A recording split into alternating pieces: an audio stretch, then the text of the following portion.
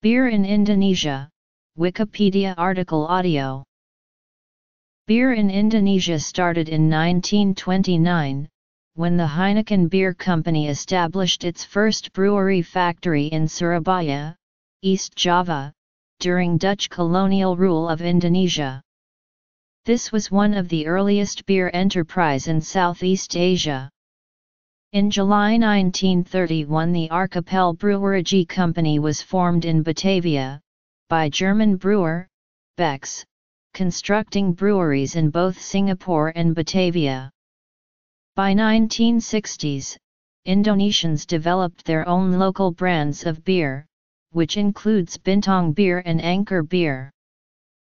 As a Muslim-majority country, alcohol industry faces ongoing opposition from Islamic parties and pressure groups in the country. Islamic dietary law prescribed prohibition against alcohol consumption. Because of various regulations, alcohol sales are declining in Indonesia. These regulations includes an excise tax hike of 18%, restrictions on where beer can be sold, as well as proposals to ban beer. As the result, the Indonesian beer market declined in 2014 and 2015. Regulations Market shares Currently, PT Multi Bintang Indonesia TBK is the largest domestic brewery of Indonesia, with its Bintang beer leading the market as the largest selling beer of Indonesia. Multi-Bintang Indonesia lead the Indonesian beer market with a commanding total volume share of over 61% in 2012.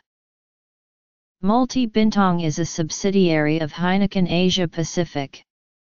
In 2011, Bintang Beer won the gold medal for lager beer category and awarded Champion Beer 2011 at the World's Class Beer Competition, the Brewing Industry International Award in London. In 2014 Bintang Radler was introduced which was the first flavored beer produced domestically in Indonesia. Other major beer producers are Delta Jakarta known for its Anker beer, and PT Bali Hai Brewery Indonesia known for its Bali Hai, an affiliate to an Asian brewery, which also produced under license other brands including San Miguel Beer, Asahi Beer, and Lowenbrau Beer. Indonesian breweries